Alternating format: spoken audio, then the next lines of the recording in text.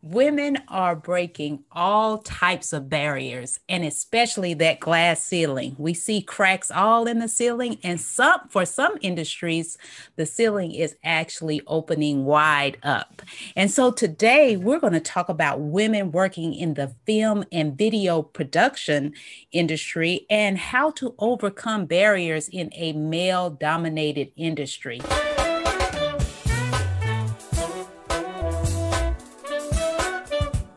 Welcome to the Empowerment Zone with Ramona Houston, where we zone in on Black and Brown relations and our journey to empowering our communities.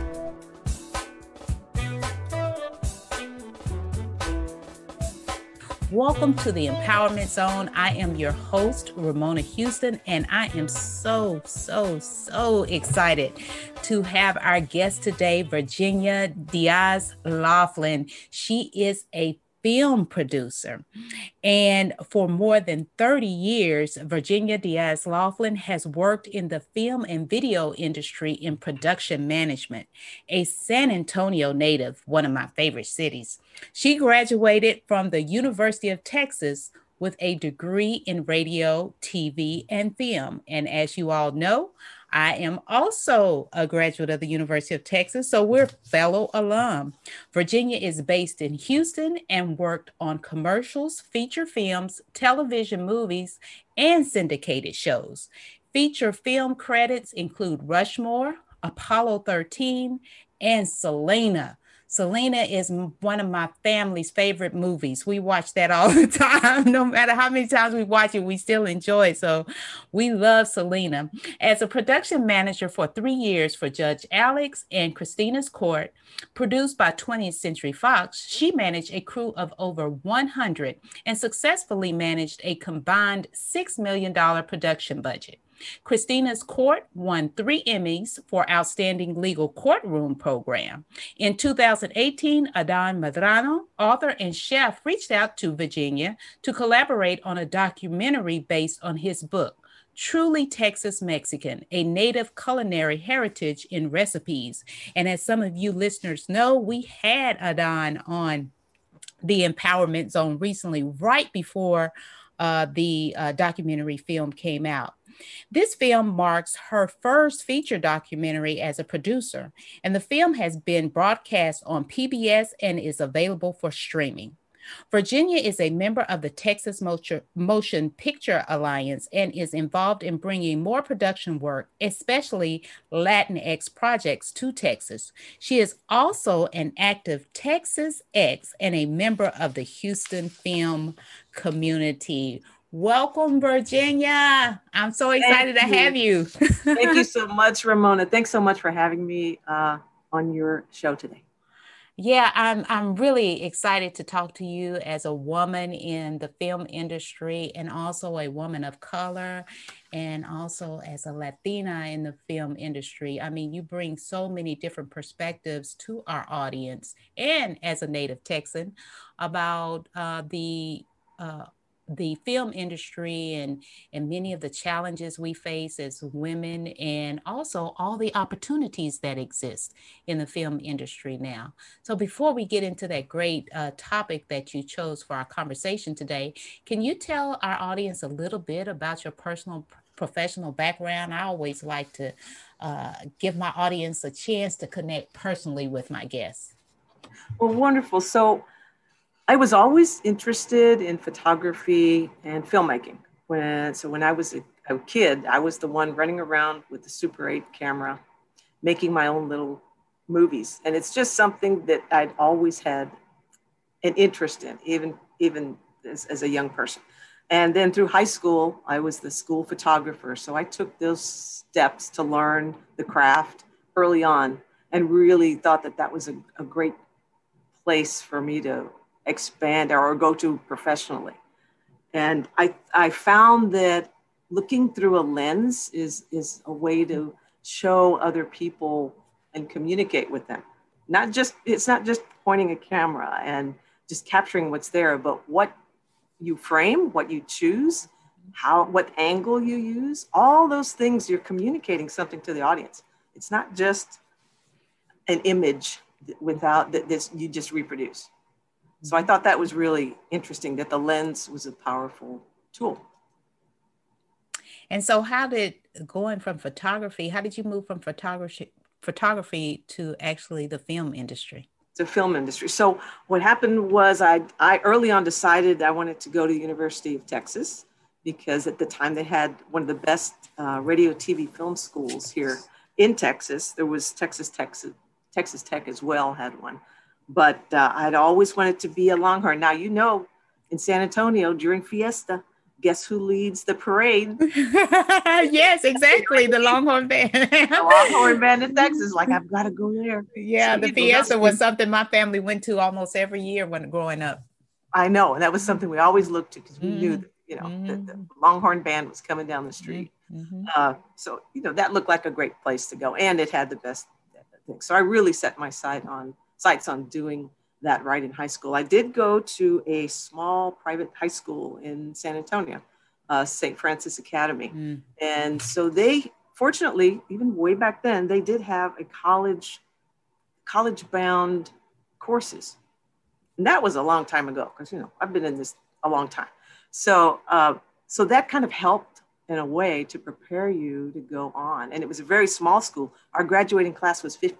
Wow. Yeah. yeah.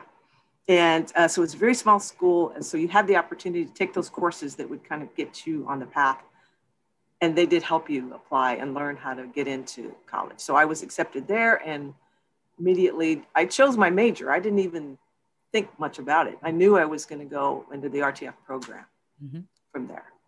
And uh, knew then I had kind of transitioned over from still photography now into doing more and more motion picture photography, eight, Super 8 and 8 millimeter and 16 millimeters. So I, and I knew I wanted to shoot. Again, the whole thing about having a lens and showing the world, you know, what you see through the lens. Mm-hmm.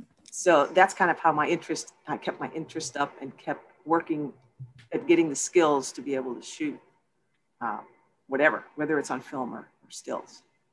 So for our audience, RTF is radio, uh, television, film. Uh, mm-hmm. so upon graduation, how did you move from, you know, having a degree in uh, RTF and then moving actually into the profession? Because a lot of people have challenges with that process, how to get their foot in the door. Right. So, uh, um, um yes, it is a hard thing, and it was a hard thing back then. But you have to look and go to where the work is. Mm. So normally, right after college, maybe I would have gone back to San Antonio go back home. But at that time, Houston was where everything was happening. At that time, there was corporate filmmaking, commercial filmmaking, uh, industrial type filmmaking. So I couldn't get into the glamour side of it right away. So I learned how to shoot training films. Mm. You know, those wonderful and industrial training films.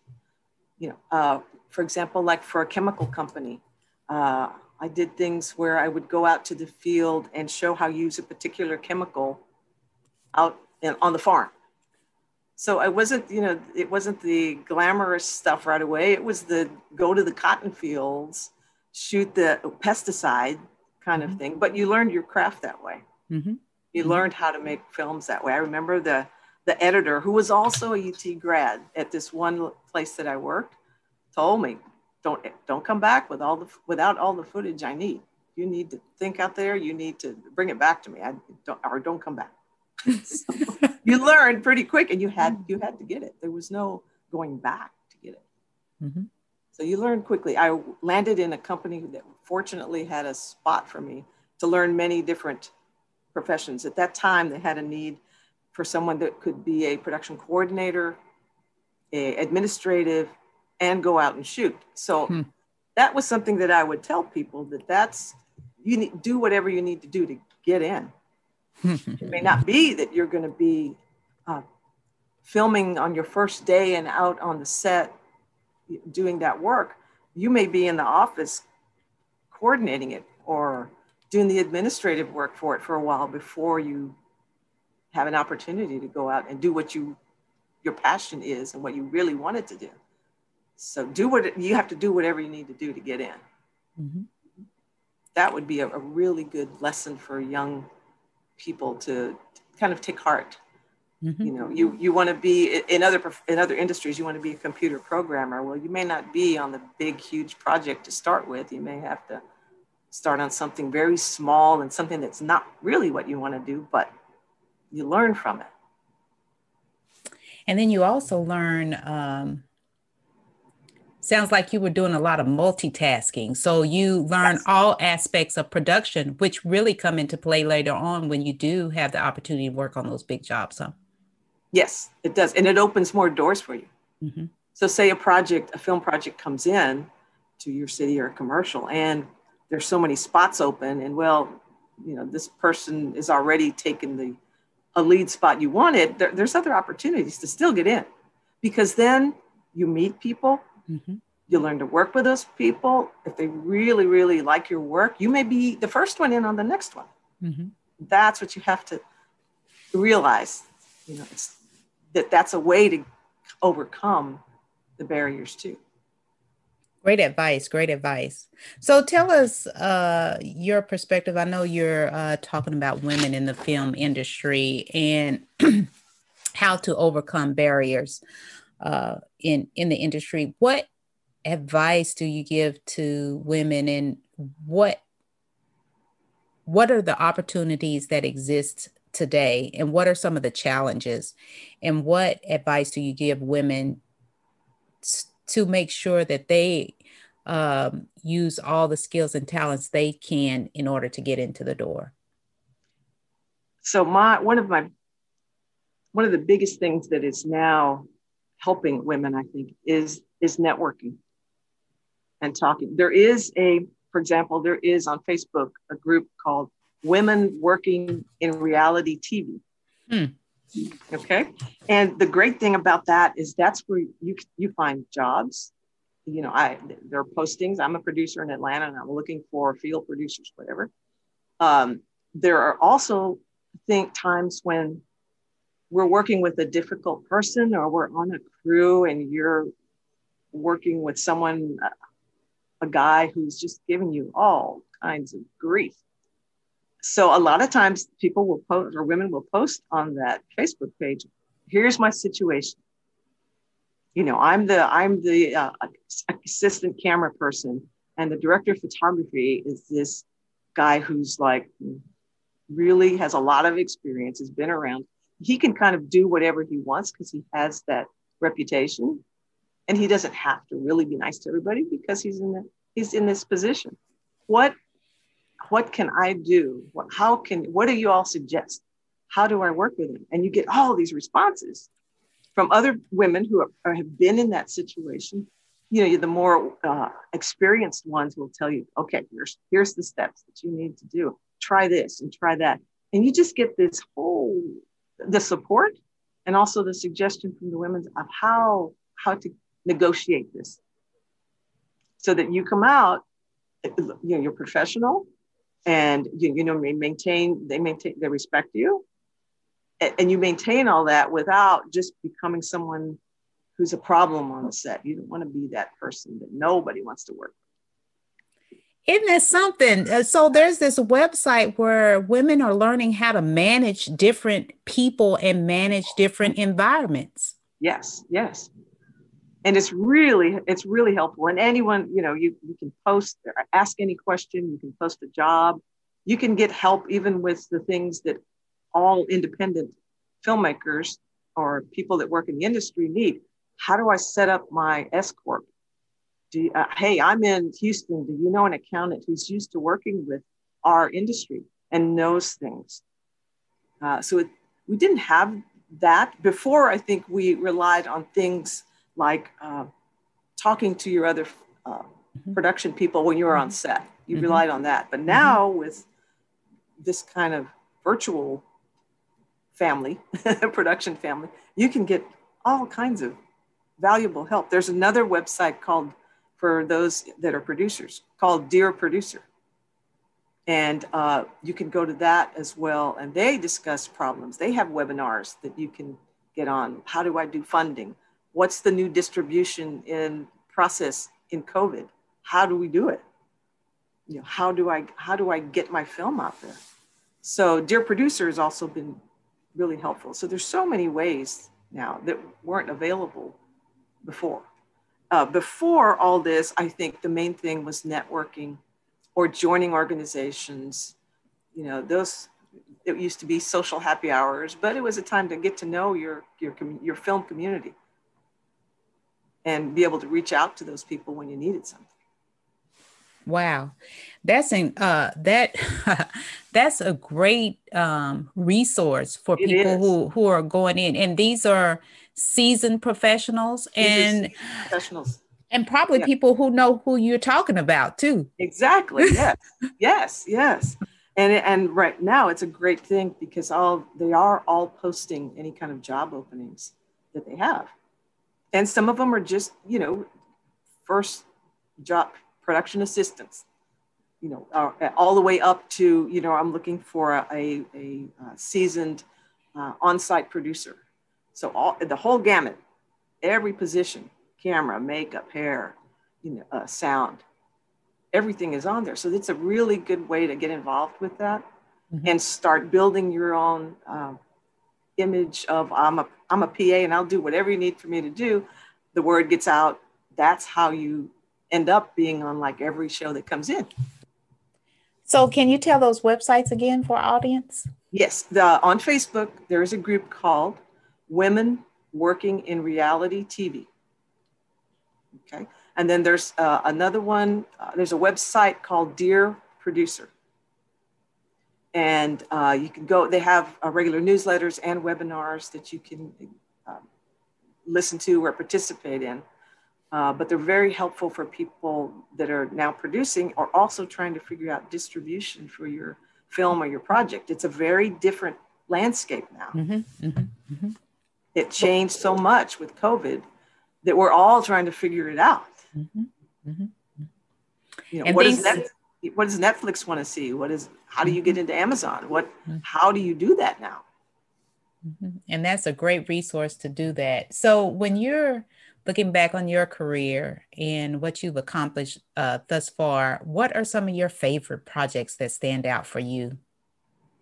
Well, I'll tell you, I'll tell you two. Okay. And one I just thought about the other day, and it because of the topic that we were talking about, um, women working in a, a male-dominated industry. So right when I got to Houston, I went to work for a company that was established here that did commercials and, and did a lot of the training films and other things. And I was fortunate enough to get on that company based on my final, the final project I did at UT uh, as a uh, cinematographer and production coordinator, manager, and all that. So the one day they came up with a question for the people on staff. They said, "Okay, we have a project. Uh, it's to go offshore um, over the New Year's Eve weekend and document uh, one of the major oil companies building a platform. This is 75 mm-hmm. miles offshore in, out, of, out of Galveston. Who wants to go? So, you know, the position for the person that was shooting the film was already taken, but they had a spot for a photographer. And so I was like, me, you know, take, pick me. I'm, I'm going. I'm going to go on that trip. Um, and I'm, I'm talking about this because one of the most important things I think is to have support, not only within the work community that you have, but also in your personal relationships. Mm-hmm. At that time, I was seeing someone who was not keen on me being mm-hmm. gone. Mm-hmm. New Year's Eve, it was our first New Year's Eve. We've been Especially. dating. Mm-hmm. Yeah, right. And I'm like, oh, uh, no, I'm going. so, you know, and and that was one of the best experiences I've ever had. So I was on a barge, 75 miles off the Gulf of Mexico. Hmm. On New Year's Eve, we were on the bridge of the barge with the, the crew. The officers were all Dutch, the crew was all Spanish, and we're toasting to stars, you know, uh, with our glasses of champagne. And that's how we brought in the new year. So that was one of the most unique memories that I had. And, you know, as long as you, you're a professional in that, all those men, they all respected you and they, you know, got what you needed and did little little things for you, but realized that you were there with, with a job to do, which was to document this lift of and of the building of this platform. Mm-hmm, mm-hmm. That was one of my funnest funnest things. And of course, the next thing is is working on Selena. uh, that turned out to be an eight month project. Very long. So I was on from the very, very beginning when they were just beginning to scout locations and that. At that time, I had moved into location management hmm. uh, from working as uh, I, I, shot film, I was a production manager, production coordinator. Um, but this opportunity came up as a location manager, and I knew it was going to be a once in a lifetime show. Um, the most wonderful thing about that show is I'm going to say 80% of the crew were all people of color, Hispanic, Puerto Rican, um, you know, people from Mexico. Uh, and he had people from all over the country, from LA, from New York, from Florida, from everywhere. So, and that was probably one of the few times where I was on a crew where it was primarily people of, of color. And there hasn't been any other since, other than our film that we just, our documentary that we just uh, completed and it's, it's airing now. So that was, working on Selena was one of the most unique experiences ever. Uh, we were uh, very close to Abraham. Uh, Abraham had a, uh, we were location managers, but he called us the locators. So we would go down to Corpus and meet with Abraham, and he'd put us in his big old suburban and drive us all around Corpus and kind of show off us. These are my locators who are working on the film for us. Uh, and he was a very, very unique person, individual. And he was there every day when we filmed. Wow. It's been a very hard time because it was only like two years after mm-hmm. her death. Mm-hmm. Uh, and we were filming in real locations. We were filming in the, the recording studio where she recorded mm. with her recording engineer so every day there was it was it was a very unique feeling. Some days there were tears. It was very hard for for some of the people that were there. Suzette you know came to the set. Chris was there but not very much. Abraham though was there every day.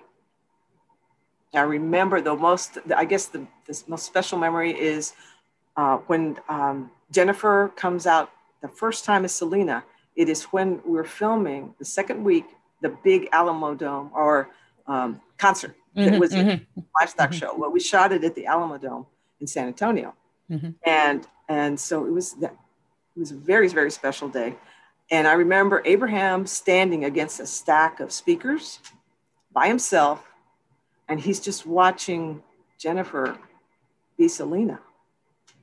So it, you know, it was, it, and we just left him, just let him stand there and take it in because I know for him that had to be so hard. Mm-hmm. Mm-hmm so hard.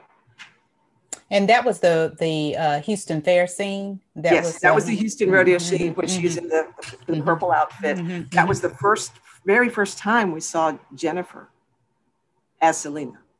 Wow, and that was like an iconic moment because that was her last yes. big performance. I'm surprised y'all shot that first. You we know, first. first. Yeah. So mm-hmm. she had about a week uh, prior to that. The week prior, we were shooting all the scenes with the little Selena, the mm-hmm. family, mm-hmm. And, the, mm-hmm. and that. And so then, right the second week was we are going to open with with those scenes. Uh, so Jennifer was getting ready, you know, was getting ready for her role. I'm sure all this time, and then to capture that, I think she did an amazing job of capturing her, and the team did an amazing job of transforming her. And to look, I mean, you you yeah. swear it was Selena. I mean, you know? Yeah, that that was an amazing scene. I know um, I was a student, a graduate student at the University of Houston uh, when she performed at the fair, and I mm-hmm. remember uh, my pro- professor, uh, Sa- Sa- uh, Dr. San Miguel. He was talking about uh, either he was going to the show or he was upset that he didn't get to the, go to the show but i remember us having a conversation about, about her uh, about her performing at the uh, at the houston rodeo because the houston rodeo is a big big deal uh, in right. houston right mm. and that was y'all's first scene um you, Montezuma Esparza, what yes. what he the executive producer on that, right? Yes, he was the executive producer on that. You know, and Gregory Nava was the the director. Mm-hmm, mm-hmm. Uh, yes, and and they were very supportive of bringing all kinds of people in into this, and lots of people of color. So it was a, it was a unique opportunity at that time for, for yeah, our Ma- people. And uh, Montezuma has such a uh, consciousness about yes, awareness of, yes. of that Mhm. and awareness of, of that and and to take the opportunities where we can to make that happen Mhm. to give them the give us the opportunity to do to work in our industry and work with God, 80% of the crew being you know a hispanic latino puerto rican you know whatever origin I'm sure that was an incredible experience. Thanks for sharing that with us. So, uh, tell us about your most recent pro- project, um, uh, Truly Texas Mexican, and the documentary, and tell our audience all about your work with that um, film and also how they can check it out. I know it just came out March 1st, I believe. yes it just came out march This year. march 1st uh, so I, I would just start with saying that i have never been in the position of a producer up until now so uh, but so but i've done as you said i've done all the work and all the other uh, departments to be able to understand what a producer does. So i've been a production manager a coordinator Mhm. you know done the administrative work then actually gone out and sh- and you know and, and shoot shot a lot of a lot of things. So the you know the hands-on experience is also something that's really valuable to have because you need that when you're trying to figure this all out. So i met adan through a mutual friend. Uh, rick ferguson is was the director of the houston film commission and adan and he were friends and he he spoke to rick adan spoke to rick and said you know I really think I want we want to do this documentary, but I don't want to produce it. You know, I, I, I want to be the executive producer. I want someone else to do it. I don't want to do it. I've done it before. I said, okay.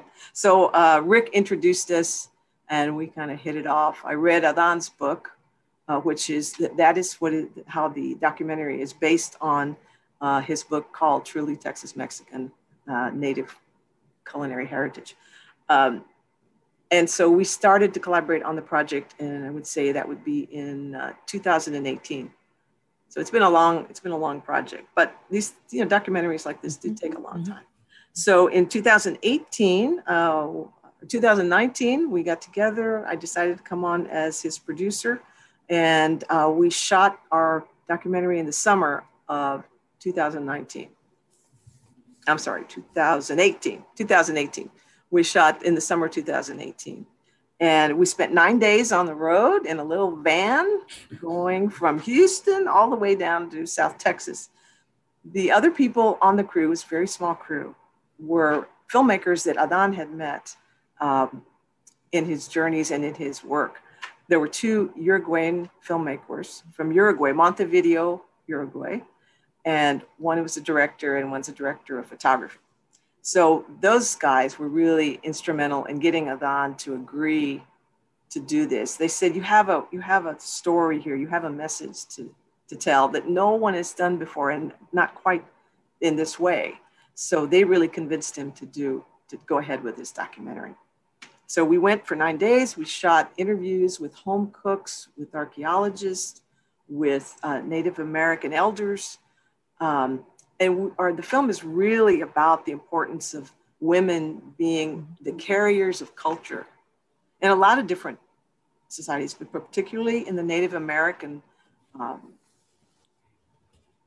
in the Native American in- community here, and that's something that we emphasize a lot. And we talk about their stories. These aren't you know, famous chefs and, and restaurant and famous famous restaurateurs.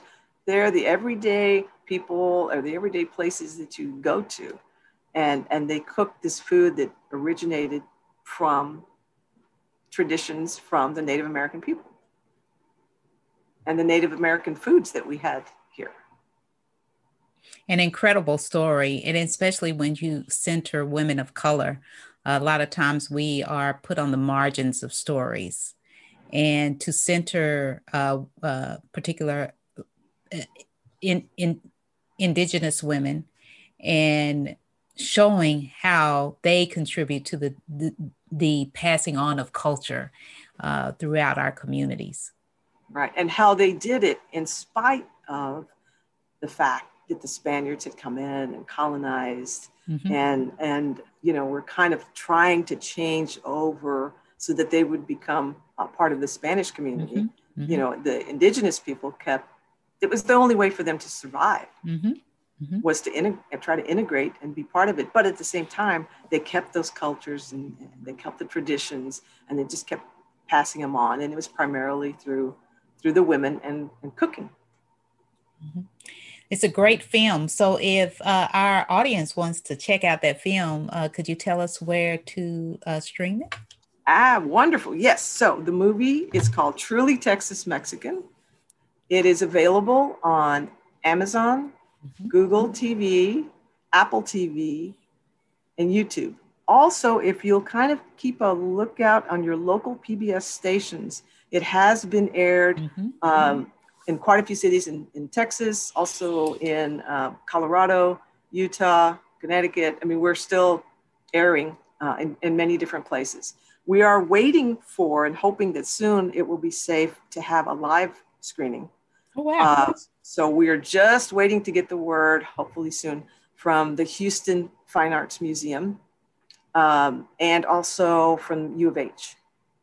And I think part of it uh, is going to be, will be in conjunction with Hispanic Heritage Month, which mm-hmm. would be mid September. Mm-hmm. So I think at that point, it should be getting safer to gather together and to go to the movies like we used to.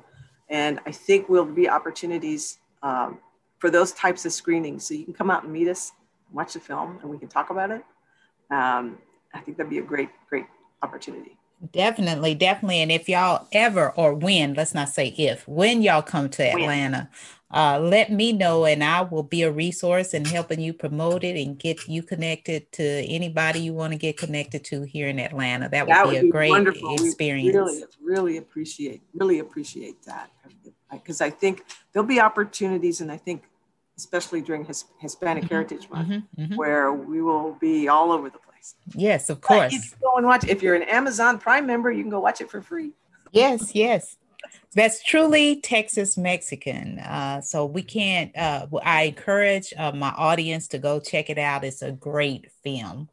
So it was such a pleasure talking to you today. I mean, we covered so much, and I, I just want to thank you. Thank you so much for sharing your story with us and creating those um, cultural, um, how do I say it? I don't know what word to use, that those cultural films that really stand the test of time in our communities. You know, when you look at uh, Selena, when you look at truly Texas Mexican, they're they're going to stand the test of time uh, in terms of really telling our stories and centering um, uh, Mexican Americans, Latinos, the Latinx community uh, in in the story, in the American story. Right, and our, our film is it teaches you some history that mm-hmm. you may not be mm-hmm. aware of, mm-hmm. and also brings it into current current day and what is mm-hmm. going on now. Uh, mm-hmm. And so you'll, you'll learn a little bit. We've had many people want to learn so much more. So mm-hmm. we're hoping we can do more soon. Well, thank you for joining us today. And you're always welcome to come back to the Empowerment Zone. If you ever have a project you want to promote, or if you just want to give our audience some uh, uh, encouraging words, you're always welcome uh, to, to return. But before you go, can you uh, give our audience some calls to action in terms of uh, people who want to be in the film industry or people who just want to su- make sure that we continue to support uh, uh, films that are important to our stories. So, for those that, that are interested in being in the film industry, uh, I encourage you to connect with uh, people in your community, people even with you know nonprofit projects, and that it's it's and and doing the work you may have to do some work for free, but you'll be known in the community. You'll start networking. That's that's the way to, to get in. And, and you know do your do your job the best of your ability and people will recognize you for that be on time you know um, and and do your job well and respect everyone else and they'll they'll they'll remember you for that and that's how you get on the next project. And that's how you get on the bigger one. And that's mm-hmm. how you get to where you really wanted to be, which was to be uh, an editor or a director or something. That's how you do it. There's little stepping stones, but, but it's possible. Anything is possible. Of course, especially if you believe and you put in the work. And in terms of our audience, is there anything we can do more of to make sure uh, that we support uh, films that tell our stories? I think um, a big thing for me is to also encourage our filmmakers, young filmmakers, in that, and that would for me is to mentor mm-hmm. someone. Mm-hmm. And it, it you don't have to go and set up a huge mentoring program. Just find one person, exactly. one young person, and then if ten people find one young person, then there's ten people, and you know, so it's the little the little steps that in the end can make a, a big difference, especially if, if young people and women and people of color. We need to be there for each other. We need to su- support each other. And then we'll, you know, we'll make a big splash, but it just starts with one little drop. Mentorship is key. So yep. if our audience wants to get in touch with you, how would they get in touch with you? Uh, I have a LinkedIn page, which I think okay. you have there. Mm-hmm. Okay. So that we can do the LinkedIn page. It has my information and any other updates about the film uh, I put on there. Also, if you need to see any other updates, you can go to our Facebook page, uh, Truly Texas Mexican the Movie, and you can see any updates we have about articles that were written, reviews, where we might be screening next, uh, if you want to keep up with us too that way.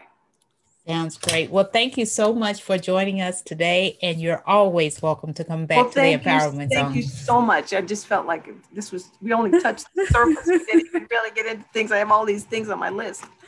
exactly. That's why I was I saying you have to come back, and so we can have it because uh, there's no way to cover everything in just yeah. the short amount of time that we have. But I surely welcome you back anytime.